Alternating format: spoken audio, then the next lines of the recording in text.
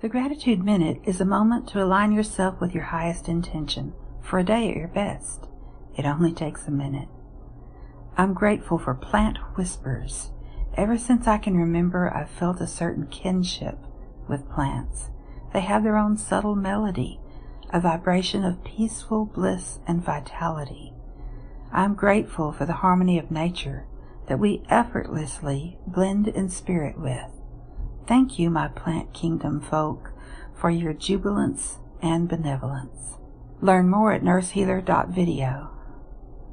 Eckhart Tolle says that one breath, fully conscious, is a meditation. Take a moment to relax and align your energy with your higher self with a one breath meditation and feel your energy shift.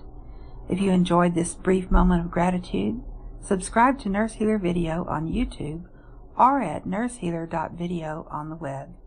Thank you and many blessings.